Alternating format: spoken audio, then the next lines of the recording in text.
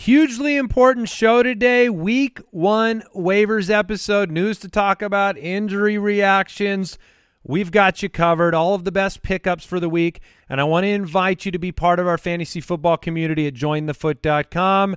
It's where the entire Foot Clan hangs out. There are so many perks, extra episodes. Check it out at jointhefoot.com and make sure you subscribe on YouTube, like the video. Enjoy. The Fantasy Footballer Studio is brought to you by Samsung Galaxy. Visit Samsung.com to learn more. Hey, it's Courtland Sutton, wide receiver for the Denver Broncos, and you're listening to the Fantasy Footballers.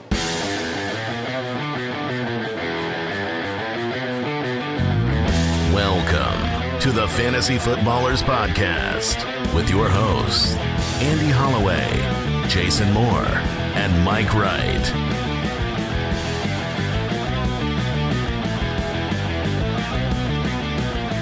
Oh, welcome in.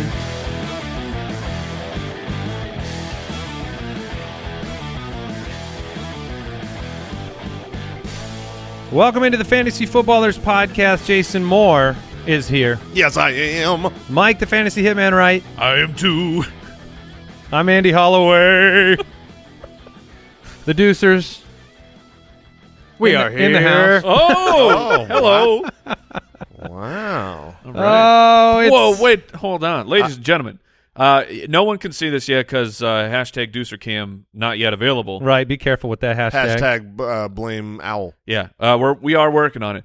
Brooksy is in the back. He's got he's got the snapback hat on uh, backwards. I noticed this. What is yesterday. going on? What is this cool new Brooks that we got? Yesterday, I ran into. We were just walking in the hallway, and you know, he came out of his office. I came out of mine, and face to face with backwards hat Brooks. Just Joe Cool over here. and I was like, "Whoa! I'm so sorry. I'm in your hallway, sir." Did I, you uh, you prime a leather jacket or? No, I hadn't worn a backwards hat in about 20 years, but uh, the, Wow. the Deucers for uh, it's football time. We all we all wore jerseys and backwards hats for. I And you mean- and you you liked it. yeah, You liked the way it felt, and you no longer hit the brim of your hat on the microphone like you always used to do. yeah, it's nice. Yeah, and then did Kyle the Borgogan? He shaved his face, or Yeah, I had to. I lost. It's my morning. okay, that's how you, All you're in right, morning. Yeah, all right. Uh, we have waivers on the show today. Very excited about that. Welcome to the fold. And then quarterback streamers. We're going to talk about those. Some NFL news. A lot of reaction over the weekend. There's a lot going on, and um, you know we are just like you. We are in our league of record. We are in the leagues, the dynasty league, and trying to make adjustments. I sent out six trade offers this morning in one of my leagues I didn't get one. You wild man. and trying to put the pieces together in the right in the right way. Yeah, I mean, we've got to start with the corners. That's see, that's why I didn't start with any corners. I started with the middle. oh, that I mean that's a bold strategy. Yeah. Uh, we have a, a a question, a common question from the Foot Clan on today's show that I myself would like an answer to, gentlemen. So we will get to that uh, when we talk wide receivers. And I know no one would be so foolish as to give up on their season after one week. Correct. But just stay calm. Yeah. And I, I just spoke to, I ran into a Foot Clan uh, listener out in the wild. And this is the first person I've met that told me last year they were 0 and 6 and they won the championship. Nice. There we go. They made the playoffs as just a last ditch effort, won the championship. Jason says that every year you don't win your championship at the draft. You're setting the foundation, and we're here to help you win. Yeah, now this is the road to the championship. I lost in the league of record by zero Oh, boy. zero point two eight fantasy points. Man, that's rough. I I ju- hope I hope that it wasn't like on you know Russell Wilson's last offensive play. yeah, yeah, it wasn't on his last little shovel. He just got just enough yards. And you already over. loved Russell Wilson so much, right? I mean, he's kind of your Unlimited. favorite guy. I can't stand that. Oh, and by the way, did you notice anything in All right. particular that happened? I happened? wasn't sure when we were going to last get into night. I mean, I do have a reminder from Yeah. the show earlier All right. in the Oh, week. Play it. now, to give you mad dap, you have been great with these, Okay, and you have done part. them very well historically. When it shocks me, but this one's insane. there so you go. Yeah. I mean, It was an incredible call. Uh, I mean, we there's nothing else you can you can't spin it. if The- you're the- listening for the first Yes. time and you don't know what the call Andy said this was his basically his upset of the week was he felt like the Seattle Seahawks could win this game against the Denver Broncos which the money Vegas fans nobody believed so congratulations yes, it was the call. wild. It was, I, uh, you know, Seattle, Geno Smith. He looked fantastic, at least during the first half of the football. And the Denver Broncos, Oh yeah, holy freaking crap! I like could not hack it. that team just left the field covered in their own poo poo. I mean, two two goal line fumbles. Oh boy, one that cost me maybe a win. Yeah, like the, they lost 17 to 16. Two goal line fumbles. The most one of the most egregious endings of all time where they have a full minute, three timeouts to go down and, you know, just score some points.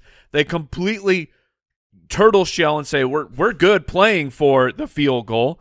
The Jerry Jeudy drops uh, an easy first down, and then they're they're left to uh, uh, this this Javonte be the hero and get us a first down, which he did his best. He got some yards back, and then they say we have a two hundred and fifty million dollar quarterback that we could try and get a first down with, keep this game going, get a little bit closer. We still got some timeouts. We have plenty of time on fourth down. But no, we would rather roll out our kicker to what would have tied the NFL record. There has been one field goal in the history of the NFL that has been that far. And they said that's the play we are going to go with. but but he's got a big leg Mike I oh, I mean super accurate from 60 plus. Yeah, uh, according to Warren Sharp on his field goals from 62 plus in 2016, a 62 yarder missed. He had another 62 yarder missed in 2018, a 63 yarder missed in Okay. 2021, a 64 yarder missed in 2019, a 70 yarder. I don't blame him on that one. Yeah, yeah. Uh, but surprisingly, also a miss. Uh, but So this he was was like zero percent. zero percent over 62. But this was going to be the one with the big pressure. On the road. It doesn't work for anyone, but maybe it'll work for us. Yeah, kind of ridiculous altogether. Uh, Just awful, awful. mistakes cost them the game. Rust was fine. I mean, 29 for 42, 340 yards, just one touchdown. Uh, someone here at the table may have wagered on the over 1.5 in the game. Uh, he did not get that done. Whoopsies. But Geno Smith, 23 for 28, two touchdowns, zero interceptions, 195 yards. That's not a lot, but he also, you know, just orchestrated the offense to do just enough, Yes. and he couldn't have done it without Will Dissly. oh, big Montana, Will Dissly. I love that this I- man will never die. Now is this Three for 43 and a touchdown. now is does Jason get a hundred dollars? Oh, no, Jimmy Graham's out of the league now. Uh, so it, So the, the bet bet's is, over, The bet yeah. is done. the bet's done. DK Metcalf caught all of his passes, but just seven for 36. I think you saw in this game exactly why the concern, the draft capital, all of the problems in the receivers, like they schemed their way to offensive success. It wasn't get in the pocket, challenge downfield. It was we're going to use three different tight ends, right? Will Dissly, Colby Parkinson, Noah Fant, all caught two or more passes and then we're going to use short area, high percentage. Don't Yep. throw an interception throws. Yeah, I mean, the Seahawks won the game, but this was based far more on their defense than their offense. Uh, I mean, they scored a total of 17 points, so you know that you're not going to get a lot of wide receiver glory when you put up 17 points. Uh, Metcalf also had a fumble, uh, which hurt his fantasy value. So it, it's certainly those are players where you're you're holding your breath for their fantasy value going forward. We got waivers on the show today, and Nathaniel Hackett Brooks is he's the he's the top answer, huh? By far. I mean, uh, like if you haven't seen the clip of from the Manning cast of you have Hall of Fame quarterbacks Peyton Manning and Eli Manning, uh, and I think uh, I think Shannon Sharpe was on. Some someone else was on with them. Bunch of gold jackets, Yeah, got it. like and the uh like they're going up to do the the fourth down, and E- and Peyton Manning's just like, uh, uh, I would take a timeout here. E, let's talk about this. Let's let's talk. Let's talk about this. And the clock is just going. It's like you got And- three timeouts. these three hosts cannot believe what they are watching of the ineptitude, and then followed up. They eventually call the timeout, and then the the terrible throw the throw the ball behind the sticks type of a play. It was just like I can't remember a coaching decision other uh, the the punt to tie is like whatever. This was just truly pants crapping. It Mike was has so some strong feelings. It was so so bad. Let's talk about the offensive pieces for Russell.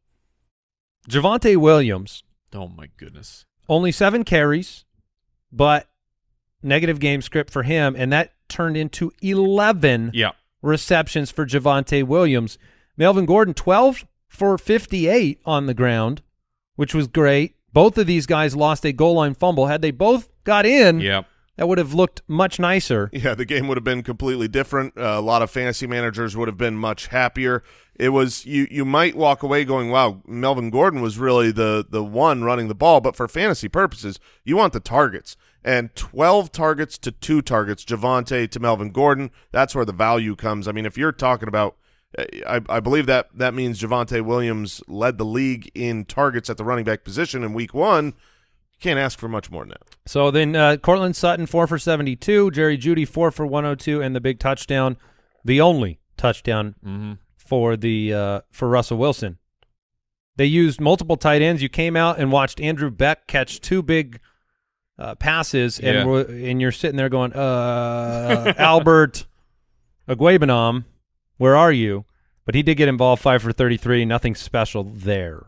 Any takeaways? I mean, KJ Hamler was just one target, so not involved at all. Yeah, I mean he's still working his way back in. Uh, the the takeaway what for me was it it took some time, but which I mean certainly was never panicking watching the first few quarters there where Courtland Sutton is not involved at all. But he they got it going. I know he was tied with with Jeudy in targets, but Courtland Sutton was being used down the field. The the Jerry Jeudy touchdown was a great play by Jeudy, but I mean it was It was kind of broken. Yeah, it looked like it should have been intercepted. and yeah, it was very close to that, and then and the the DB just missed the tackle, and then Jeudy, fast to his credit, scored the touchdown. and both look like they will be fine, especially if Yep. Hamler is not involved. If you have Hamler as a flyer, I'm probably moving on to the waiver wire because that's what we're talking about today. And there's going to be some names that I would like more than waiting on Hamler to get involved. Sure. Couple of reminders before we move forward into the news.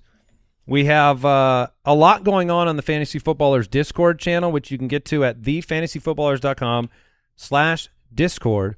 It is free to get in there. There is a trivia night tonight. Papa Josh runs the events over there, and there are tons of fantasy football players that you will want to hang out with and, uh, you know, tilt with if you had a rough week or brag Yeah. about your team too. So uh, check that out, thefantasyfootballers.com slash discord, and the community is jointhefoot.com. News and notes from around the league. Presented by USAA Insurance. Dak Prescott underwent hand surgery as expected for his fractured thumb. They apparently are not putting him on in- injured reserve. Jerry Jones said he thought he could return in as fast as four weeks. Ian Rapoport says they're looking at week eight as a possible return. That is upsetting in the sense that we saw this with Russell Wilson last year. He beat the heck out of the timeline. I mean, he came back so much quicker than people thought from uh, his hand issue, and he really shouldn't have because he was uh, bad. It turns out you use your throwing hand when you throw the ball. So I, I feel like I would rather Dak just take the time he needs than rush him back. Because I, I don't take that view. Okay. Do because tell. I am concerned about CeeDee Lamb, and I think if there's any percentage chance that Dak does return and is fine, because that's a possibility as well. He Sure. could come back and not be as ineffective as Russ was. That has to help CD. Like if there's a real chance Oh. he comes back in four weeks, CD might not be a panic button. Yeah, if he can come, all I want is him to come back at 100%. Right, That's all right. I want. But uh, it's ironic because our reason for having opposite opinions is the same. It's C.D. Lamb. That is it. Like DK Metcalf last year was far better with Geno Smith than with broken Russell Wilson after he returned. So that's just what the you, one thing What I do you do though if CD's if it's eight weeks? I mean, sure, CD might be okay in eight weeks, but you're talking about week nine of the fantasy season. Well, they we we do have Cooper Rush with you know the one start last year that turned into 11 targets for Amari Cooper that turned into 10 targets for CeeDee Lamb. So He had a good game. so right? it maybe in I believe that was on was that on Halloween? Halloween night. Yeah, I remember trick or treating and like catch. there was like people out, you know, with the candies and they have their television, so I'd, you know, just be like, "Well, slow down at this house. Got to watch some of this game here." Uh, but not. What's the IR rule now? Is it? I can't. Is it three weeks? Four. Four. I I, I think it's. I li- I like being an optimist about these things. Like the have positive thoughts for your injury, but at the same time, you got to have at least some level of a realistic viewpoint. He, I can't. He had a fractured thumb. He's not coming back in a month. It's ridiculous. What would you do if you were the head coach or general manager and Dak came and said, "Just don't put me on IR. I want to try to get back from this." I would say, uh, Mr. Jerry Jones, what would you like me to do? Like that. This is a Jerry Jones decision, in my opinion. Well, I mean, what if Dak came to Jerry Jones then and said, "Hey, Yeah, just don't you're put me on IR. Don't put me on IR. I think I might be able to get back faster." That's uh, they're not going to. He, Andy is saying, if you sorry. were Jerry Jones, Oh, what would I'm you say in response? Sorry. response? I'm I'm sorry. I was not hearing you correctly. So, like, what would you say to Dak when Dak says, don't, "Please don't put me on IR"? Would you say, I say that we, we- need to make room for Jimmy Garoppolo"? No, uh, but I would say okay, we won't trade for the quarterback, but we need we need your spot. Like we need to field players who are actually going to play and help this team. Elijah Mitchell has been placed on IR, expected to miss up to eight weeks with a sprained MCL. So, a lot of fantasy players are going to be trying to find a solution for their absence now in a starting running back spot. yeah, this is the biggest waiver storyline of the day, so we'll talk about it here shortly. There have been reports that there is a good chance Najee Harris will play in week two. Okay. Uh, I can tell you that from my interpretation of what took place, and then much more importantly, you know, talking to our injury expert Matthew Betts, skepticism abounds on that possibility. Uh, Matthew Betts at the Fantasy PT on Twitter says every report seems to indicate the Najee injury isn't serious. Maybe it's not, but this looks like a high ankle mechanism to me. So there is some concern from Matthew Betts on whether he will, you know, he said watch practice this week, see what Najee does in practice. Does he make an appearance? He was awful on the ground. I mean, just That's I, I think the outside of a touchdown catch, he did nothing. I think the the big takeaway here is not necessarily is Najee going to be good to go. It's if he is good to go, it, like if he plays, can you actually play him with the inefficiency of Week One? He doesn't get the same target volume because it's not Ben Roethlisberger anymore, and he has a a bum foot or a bum ankle. We're uh, not sure what exact what the injury was yet.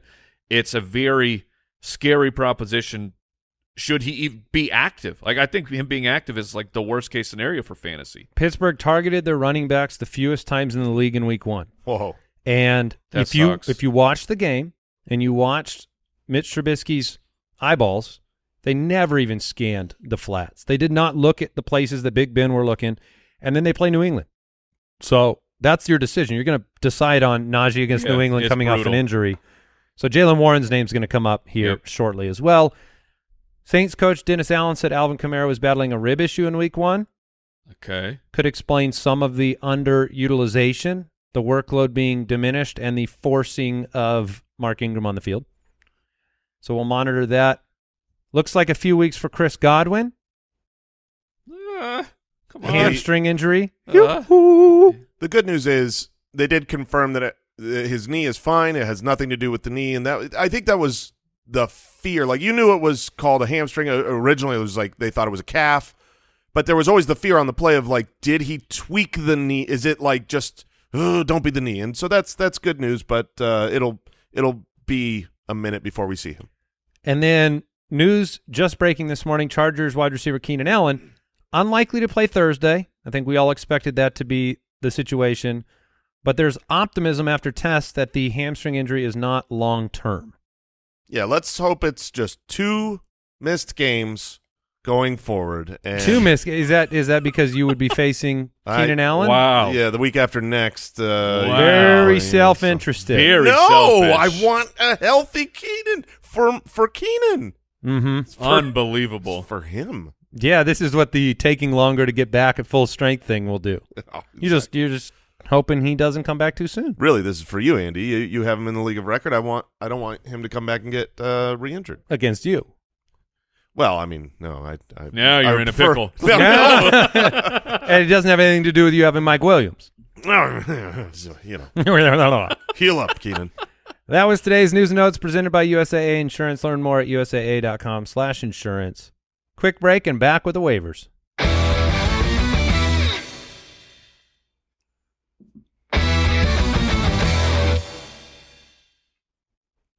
Keenan was Keenan was so on fire to start that game. I it's such a bummer that he got hurt. He was dominating.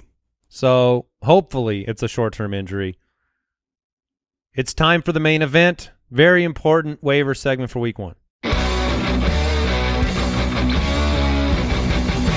Welcome to the fold, presented by Samsung Galaxy.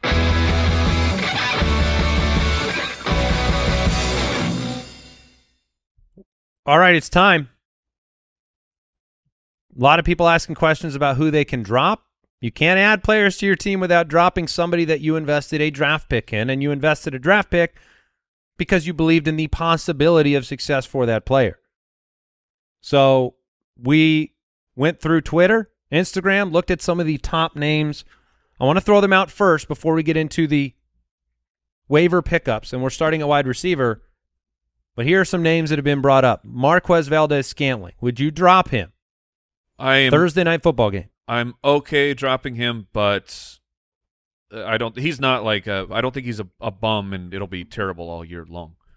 Robert Woods. Yeah, I would drop him. I Robert drop Woods him. should get the drop. The targets per route run of both rookie wide receivers for the Tennessee Titans were outstanding, and they should only become more and more involved as the season goes on. What about DeVonta Smith, who was a goose in week one as oh, the man. now wide receiver two for the Philadelphia Eagles? I don't think I would drop him. He didn't. It wasn't like he didn't have any targets. He was 0 for 4, and the offense looked good. So I'm I'm gonna I'm gonna hold on to DeVonta Smith. We'll come back to that. He did lead the team in snaps at wide receiver position. So Kadarius Toney. That's the one. Here we are. Oh no. I don't know what to do. I, I have some some guys I want to pick up. I have Kadarius Toney. And here's my issue with Toney. He looked exactly like what you hoped he was going to be when you drafted him. He had two touches in that game, both of which he was dead to rights and he juked about 12 people, picked up positive yards, made good uh, a good decision to not throw the ball on one where he it was kind of a trick play where he's going to Yep. throw it. It wa- was great.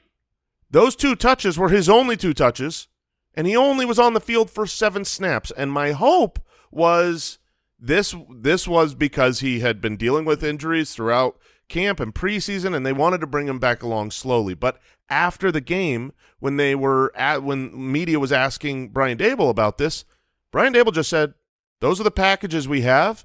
You're going to see him more. You're going to see him less. It's just depending on how the packages play." I thought he was fine on the times he was in the game, and then he was asked later, "Are you going to see him, you know, more in the future?" And he's like, Uh, "You know, it could be more, could be less." packages, packages. yeah, so it wasn't a health thing. I don't know that that said they're going to see him more, not going to, but it wasn't them protecting his health. I think it's still possible it was. We d- we didn't agree on the interpretation of that. I thought he was very standoffish about the questions. So it, it, he doesn't have to reveal whether he's dealing with an injury. That that that's one of those coaching things where you give the other team an advantage. It's still possible that he was even a lack of practice, right? He may be healthy now, but he could have practiced not practiced in these packages. Packages, packages. And Wan'Dale Robinson, their second round rookie wide receiver, sustained uh, a knee injury during. Do we game. have any more details on Not. Wan'Dale? We- Kyle, we- can we- you get on get onto the Wan'Dale news? Yeah, just look that up. But Kadarius Toney to me is definitely not a drop. The guy is too talented. Uh, it's with one week now. If we go out in week two and it's the exact same thing where he's just he's not even on the field, then I'll consider moving on from him. But for one week, I will hold on to the talent. good. Thank you. I needed that You are welcome. because he's so good. He's Also, how dare you Twitter Allen Robinson, a, t- a drop candidate. 100 percent no. DeVante Parker is 100% yes. That is correct. I would, yeah. I mean, I, I don't want the passing game for New England. Right now, Juan, uh, Robinson's considered day to day with a knee injury, no other details. Thank you, Mr. Daboll. Uh, see what I mean? he's not. He's not telling us very much because he's such a winner, Yeah, and these are the things that got him the victory. All he does. It is so funny the difference that a point makes. You know, if if they don't get in, if Saquon Barkley doesn't push through the tackle and Yep. and he loses, the the media and the fan base is going to be so against Brian Daboll. He didn't do enough. They didn't score much. You got to change things. Yeah, and just Saquon made Brian Daboll a successful coach that week. Incredible. He looked great. All right, main waiver wire pickups at the wide receiver position, and the roster percentages we're sharing with you come from Sleeper, but check your league. Obviously, They They've- will. They will be different. Yeah. Yeah, they vary. Julio Jones is near the top of the list. Five targets, three for 69, was rocket ship fast on the field. His roster percentage is 75%. He was drafted in three quarters of leagues. Yeah, he had a very nice game. I would say that um, if he's available, he's maybe my uh, he's my number one wide receiver pickup just because of the Chris Godwin injury. He's probably not available, but worth looking. I am looking at Jarvis Landry and Jahan Dotson here, who are both above 50% roster percentage. Landry went 7 for 114 on 9 targets, 26% target share.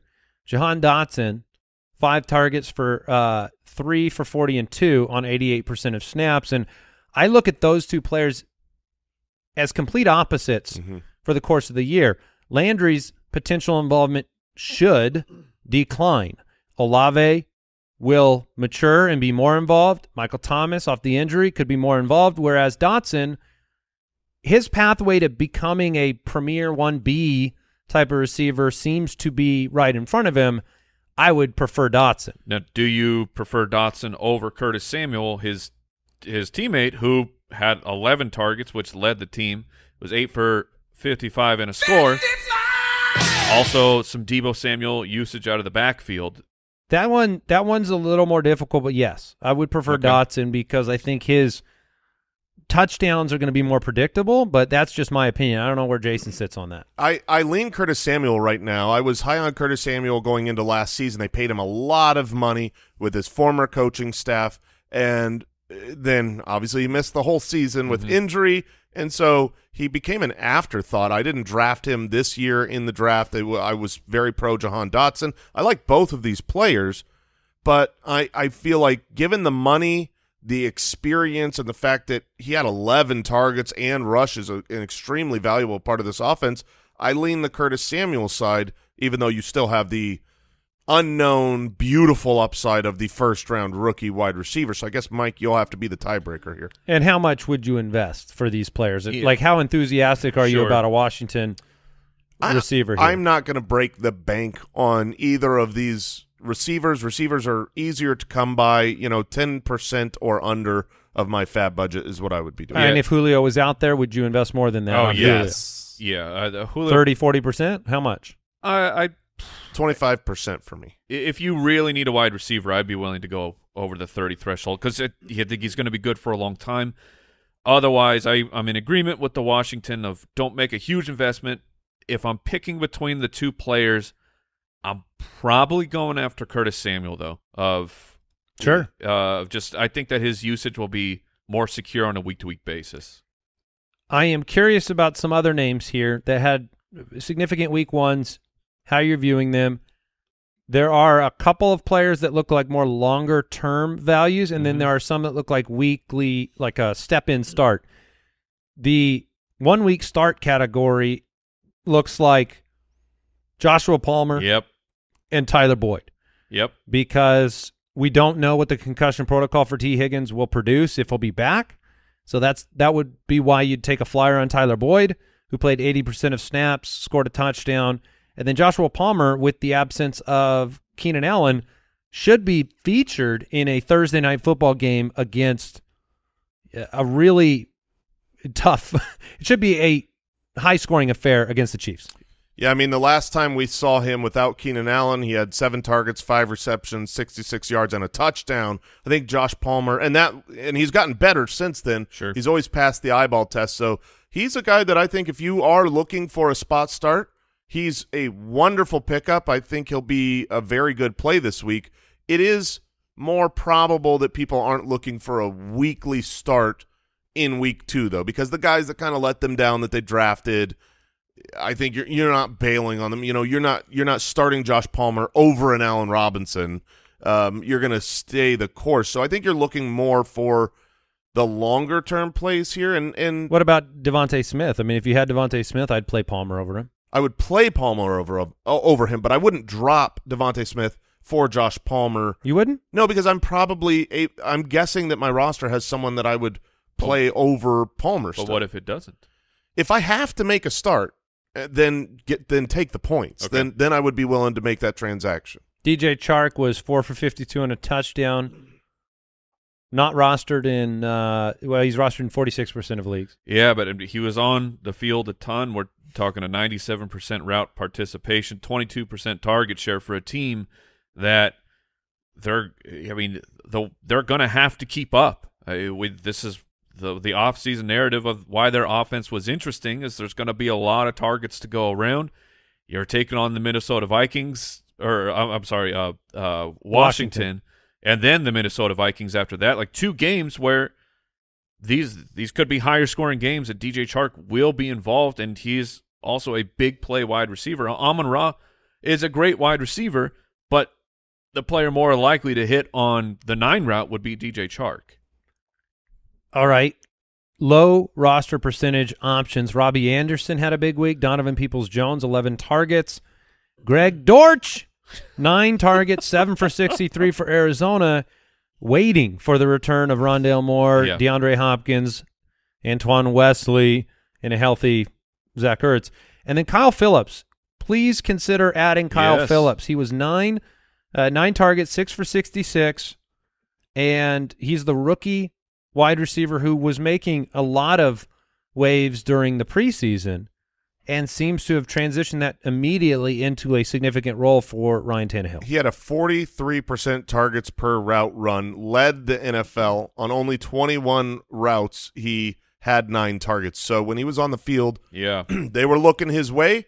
That is one of the more predictive stats. So I definitely think Kyle Phillips should be picked up and looked at, especially in PPR leagues, because he's not he doesn't project to be some dominant, you know, uh, deep threat that's going to just be a touchdown machine. He's going to get targets and um, be more of a PPR type of guy. But Greg Dortch is a name I think Why? I It- don't get it. It's here here's here's why. I Rondale Moore I cannot see getting back. I mean, we we haven't heard an update. Cliff said he was 50-50 last week. Yeah, sure. Um, if Rondale Moore is out, Greg Dortch is someone that throughout training camp was the you know people kept bringing this name up that you hadn't heard of. It's because it's fun to say. Then throughout preseason, they he just kept dominating, and then he comes out in week one and gets nine targets, seven for sixty three, and is super involved. So at some point you go, oh, this is the number two wide receiver for the Arizona Cardinals, and he's free. So if you're in a waiver priority system and you're like, ah, I need a weekly start, like don't burn your priority.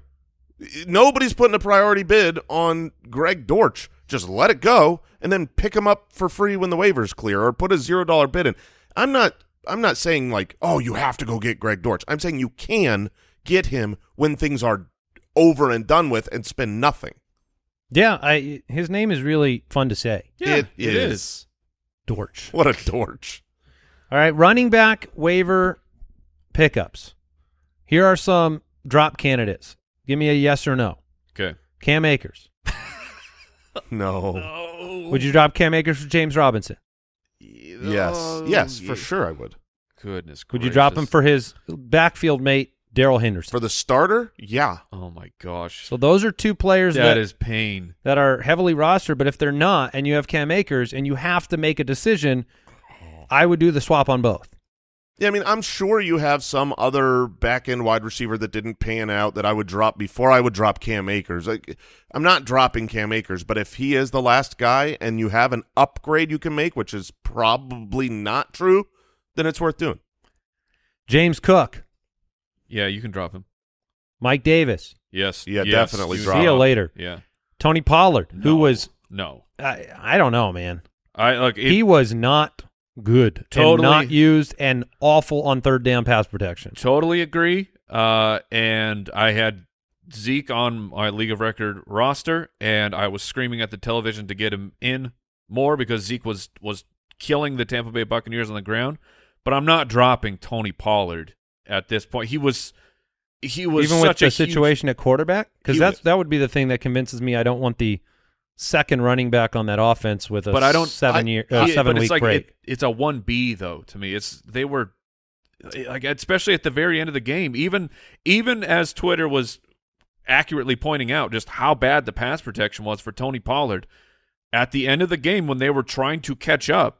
It was all Tony Pollard at that point. One of the He's going to be on the field. One of the things with bad pass catching is is a way to beat a blitz is not necessarily to keep your back in to protect, but to leak them out and just dump it over the top. I do think that there is a world where the change from Dak and the acknowledgement now of preparing, you know, they lost their left guard and that wasn't planned. They know now that they have no protection here and a backup quarterback. I think little dump offs to running backs. I I, I could see Tony Pollard's utilization being more in week two than week one. But he's also, you know, I'm not dropping Alexander Mattison or some of these great uh, insurance backs. And I, I do think that he still qualifies as that, even if he's not a standalone playable option. All right, well let's talk about taking a shot on Jaylen Warren then because Jaylen Warren is seven percent rostered. Pittsburgh Essentially, Steelers. Yeah, why, uh, running back for the Steelers played every snap after Najee Harris left. We're being told Najee will come back. It's a New England matchup, but if Najee is not on the field, is Jaylen Warren a flex-worthy play immediately? He is he would be flex worthy should Najee Harris miss the game. But are you excited to play Jaylen Warren? Because I'm not excited to play healthy Najee Harris against the New England Patriots or like an undrafted player. I know he took over from uh, he took Benny Snell's job, which I mean that's not really it doesn't seem like a difficult thing for a professional running back to do these days. But he'll get all the volume. It just it feels like it's going to be very disappointing at the end. If you're expecting like, yeah, the the backup for the Steelers, workhorse, he's going to come in and dominate.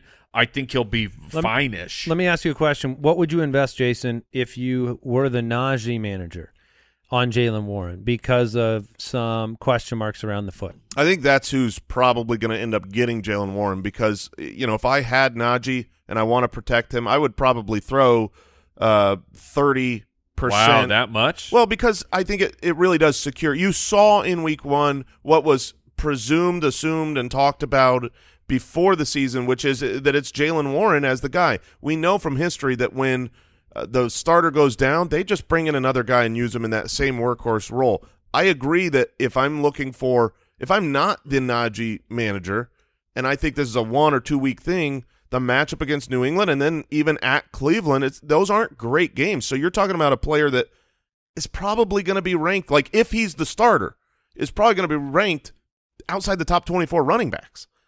So it's like it's someone you're still not excited to start. But if you've got Najee and you're worried, okay, this is a high ankle or something, it's going to keep him out four, five, six weeks. You got to protect that position. So um, I'm not going hard after Jaylen Warren personally because I don't have I, Najee. I was surprised by your 30 number. I thought that was high. No, that was only if I have Okay, Najee. okay. If I don't have Najee, he's probably just going in a list of players, um, you know that that I th- like. I would much rather have Jeff Wilson. We could talk about the the San Francisco Okay. situation because that's that's a known thing. He's for sure out.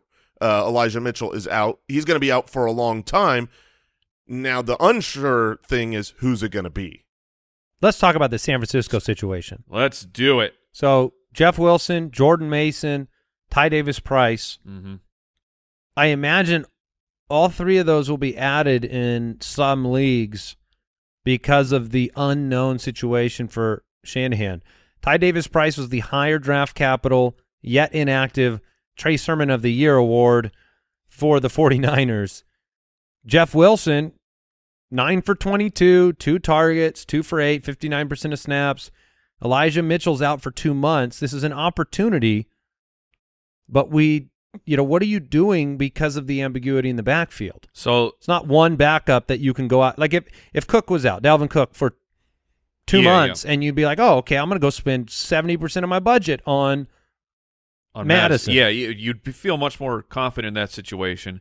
For this one, I, I, we have the information that we have, and Jeff Wilson was once Elijah Mitchell was out. Jeff Wilson was the the running back who got touches. Of other, I mean, Deebo's going to be in the back. Trey uh, Trey Lance is going to run a lot, but Jeff Wilson was the featured running back. And again, that game was a slosh fest. It was it it was craziness throughout the entire game. Uh, Ty Davis Price, head coach Shanahan, came out and said that the reason he was out and Jordan Mason was active was because of special teams, which, I mean, that completely makes sense. If you want to try and get into the psychology of Kyle Shanahan, good luck. Uh, and you could take the shot that it's that it will uh, in fact be Ty Davis Price or Jordan Mason, but I'm making the heavier investment on Jeff Wilson. I I mean I'm going decently hard after Wilson. If you need if you need that running back help, I'm willing to go in the 40s or a little bit higher for what I'm projecting to be the starter for the next couple months. Maybe he's toast. Last year we kind of played this game that you're going to stash Jeff, stash Jeff Wilson should something happen. He was injured for the vast majority of the season. Did get an opportunity to start. Looked pretty toasted last year, so that is a major concern. But he's still, as of week two, he is still Kyle Shanahan's dude, and that's what matters when it comes to running back opportunity. Yeah, I'm, pushing my chips in on Jeff Wilson. I, you know, Jordan Mason. I've talked him up in in the sense of a name that you need to know, and the opportunity is here. But he didn't get a touch. Like Elijah Mitchell went down, he was active, and Jeff Wilson got all the work. Um, it's it's prob all three of these backs are going to be active for game time, and I'm guessing that Jordan Mason will be in the special teams role again, and that it will be Jeff Wilson as the starter with Ty Davis Price backing him up.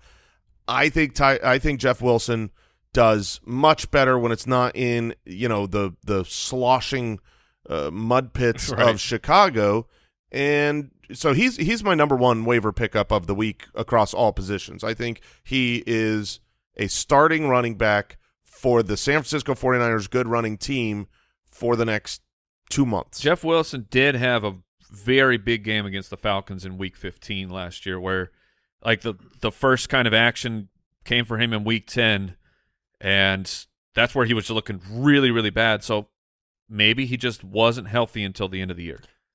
Yeah, it, it'll be interesting to see. I don't know how heavy I'm willing to go. Obviously, if you need a start and James Robinson and Darrell Henderson are out there, Oh, they're taking priority over Wilson. what would you spend? Because because a quarter of leagues have James Robinson or Darrell Henderson available. What would you spend on those two guys? I think on James Robinson, I'm about 60% of my budget, and Darrell Henderson, I'm probably about nice. I can I can yeah, agree with I like those numbers. Uh, Kenneth Gainwell, Jamaal Williams, J.D. McKissic, uh, Rex Burkhead. Yeah, I mean, Do you have interest in these players? And, and more so, would you drop, you know, a Tony Paul? Yeah, yeah, yeah. yeah. Well, I hate you. Uh, Tony Pollard, Mike Davis, James Cook. Would you drop those players for all of those names? I, again, uh, sorry, again, I'm not dropping Pollard. The others two, the other two guys, I'm dropping them for anybody. Mike Davis is, I mean, th this is toast. It was Kenyon Drake was the primary running back for this team. Yeah, I would drop And- Mike Davis for Kenyon Drake. yes, ex- Immediately. exactly. And J.K. Dobbins will be back eventually.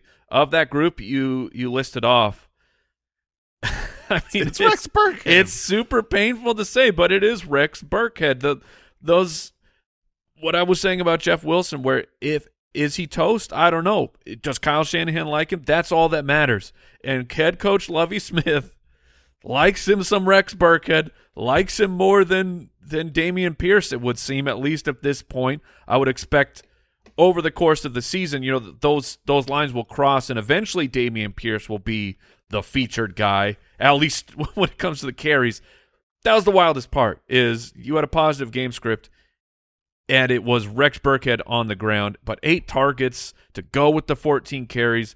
It's inefficient. It's gonna be gross, but the volume will be there. Rex Burkhead last year, the last eight games of the season, do you know he was on pace for 244 carries? he was their lead running back. What are they doing? He was their lead running back. He was on pace for 295 opportunities. like, and then we come out week one, and that's the same situation. He's he's Oh in. man, So I, uh, yeah, I mean, I, Rex Burkhead is someone that I think you can pick up. Uh, here's a question: Would you drop Dameon Pierce for Rex Burkhead? no.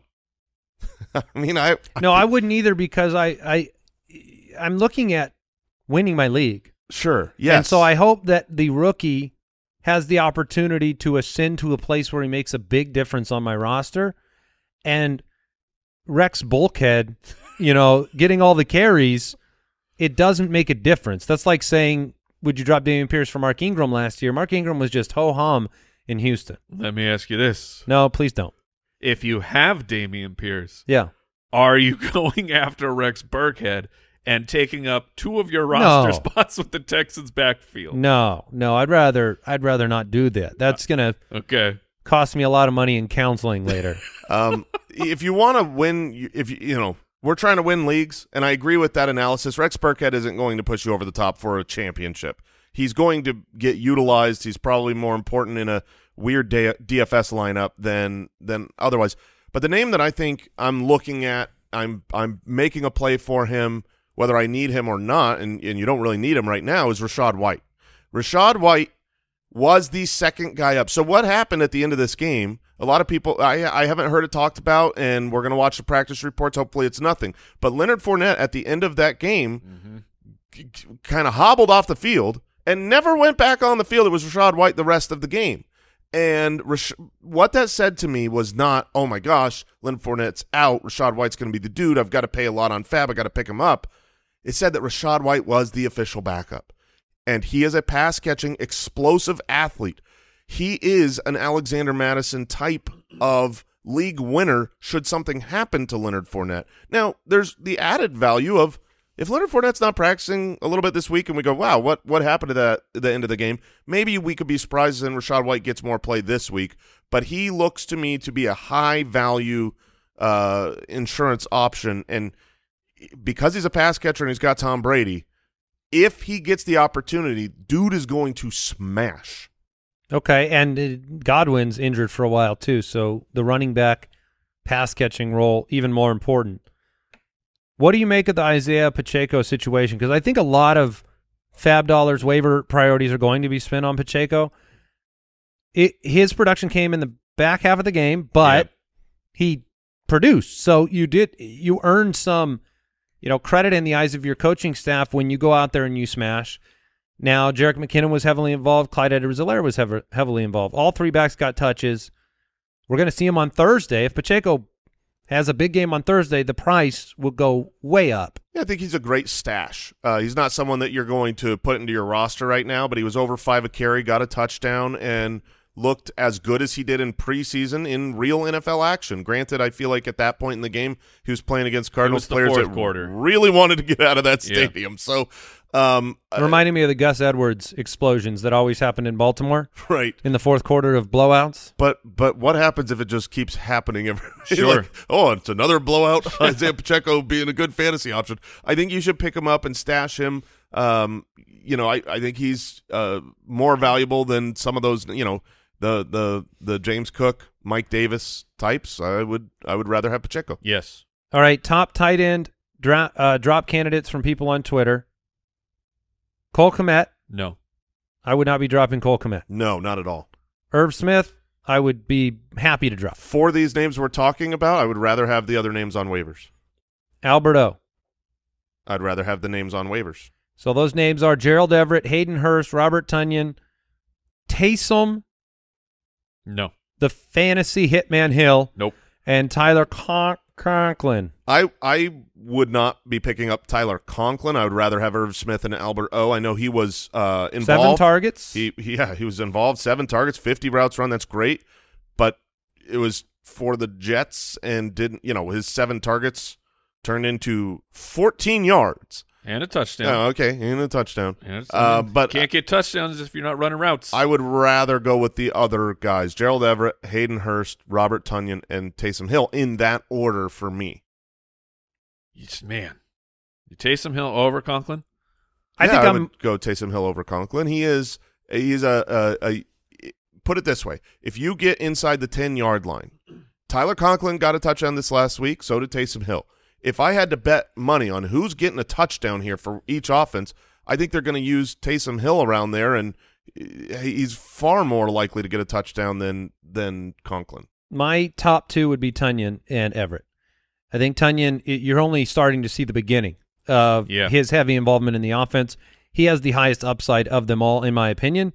And the rookies, it's tough in the streets in Green Bay. You need Allen Lazard back to help that offense, but Tonyan, I think, will be heavily involved. Everett has an opportunity with the Allen injury this week and beyond. It may get murky, and you may have some really tough weeks with Gerald Everett. If it's a, you know, Mike Williams, non-existent in that last game. Keenan Allen off the field in that last game.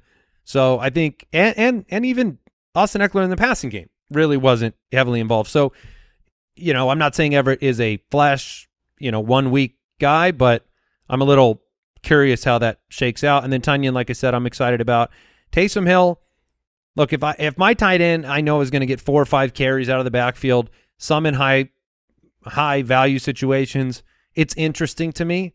I don't think I'm going to get goosed by Taysom Hill. Yeah, I, I, I Taysom Hill's a tier break below those other three. Um, Gerald Everett, Tonyan, and Hurst. And Hurst has the same situation with you know Gerald Yes. Everett doesn't have Keenan Allen. I don't think we're expecting Tee Higgins to. Well, we don't know. It- Yeah, it's it's don't too early to know in the week. But Tee Higgins could easily miss this game with the concussion. If that happens, Hayden Hurst had eight targets. So those are Joe, Joe Burrow targets, not Joe Flacco targets. Yeah, I, I'm in agreement that Robert Tonyan would be my uh my, my first pickup. I kind of he got featured on uh, the Sunday live stream, which hopefully you you tune tune into those because we're getting real actionable news and like the fact that that Tonyan was not on the injury report was shocking. I mean, he tore the ACL in the middle of the season. It I, I did not expect him to be back at the beginning of the year. I didn't expect him to be fully healthy. ACLs are crazy, and if it and it feels like they're not fully predictable, just where all over the map these players have been. And he, as he gets healthier and healthier, he will be uh, a go-to target. He only played 36% of snaps Yep. and still ended up 3 for 36. Yeah, he's he's very interesting. Uh, and Can I ask you a question about Yes, where he do. would fall in line if people because people are going to react, right? Sure. They're going to drop David Njoku. Some Cole Kmet is going to hit the waiver wire because zero that hurts. Yeah. Are you prioritizing those dropped players over these guys? Uh, Njoku, uh, that's a tough call. I think I would. I, I think I would go with, with Tonyan over Njoku. What about Everett? Uh, probably. I would go Probably. Everett as well. You look at the But- quarterback but is that- disparity. Yeah. Does that go with Cole Kmet too? No, Because if Cole Kmet hit the waiver wire, he would take precedent over all these players to me. I th- he would for me as well. Yeah, I, I throw out the the goose from week one in the rain. I, I want Cole Kmet. I think he's the going rainy to be, goose? I I really think Even a he's gonna goose be couldn't fly in that weather. No. Very involved. I mean, Darnell Mooney and Cole Kmet should be soaking up the targets. Instead, the ball was soaking up the rain. All right, defensive pickups. Give me uh, Bengals. Give me two or three. Bengals. I say it first. Um, I look. The Bengals have a great defense. Uh, they they showed that in week one. They get to play Dallas, who has some offensive line problems. That's good for sacks with a backup quarterback in there. So, and then following Dallas, they get the Jets. So they are the number one defensive pickup for me because even though the Steelers, oh man, dude, did they their defense looks great and they're playing against the offense of the Patriots. It looks bad, but the Watt injury is going to massively affect it. Yeah, that the, the the Watt injury is a big downer. The Steelers are still in play uh, because the, the the matchups are just so juicy. But I'm with Jason that the Bengals against Dallas, seven point road favorites currently Uh, they would be my my top one. And then I love the New I love New England this week. Do you? I think in Pittsburgh, Okay. Najee Harris limited or not playing. Good luck, Mitch Trubisky against New England. You're, you're going to be one dimensional. I don't know if they can get it done against that defense. I don't know what the line is going to be, but I'm under. I'm I'm, I'm under. I feel like I will blindly bet the under on a game where 40 and a half, says Kyle. 40 and a half. I'm That's- taking the under. Wow, that's so low. I mean, I just don't- these. these I mean, Gross. yeah, the two bad offenses, two decent defenses, or good defenses. I could see a 2020 tie like we got in Indianapolis. There you you go. you would make it. All right, that was Welcome to the Fold presented by Samsung Galaxy. With multitasking on Galaxy Z Fold 4, you can view available players on the waiver wire, check player rankings, and watch highlights all at once. Visit Samsung.com to learn more. Full stream ahead. Well, every week we are looking at streaming quarterback options, all the more important when you lose a Dak Prescott and you are trying to find a matchup that might work for you this week. I want to throw out a player I'm calling a bench streamer because apparently heavily rostered, Yep. but not started last week. Derek Carr at home against what we're calling the Arizona tertiary. It's not Mhm. even a secondary. I like what you It's did. awful. It's they can't put pressure on Derek Carr. 17 targets to Davante Adams last week. I think he's going to be outstanding, and I think Arizona will keep up. That's what they they they will do enough on offense to make this a productive game for Derek Carr. But beyond the heavily rostered Derek Carr, my start is Jared Goff. Washington allowed the most quarterback fantasy points in 2021. Jared Goff at home taking on Washington, averaging 36 pass attempts per game at home with weapons, right? Yeah, Amon I- Ra, DeAndre like it. Swift, DJ Chark. I think it's going to be pretty good for Jared Goff this week if you're desperate. Yeah, no, I, I I like that quite a bit, and I am one of your bench streamer uh, players. I will be playing Derek Carr over Kirk Cousins.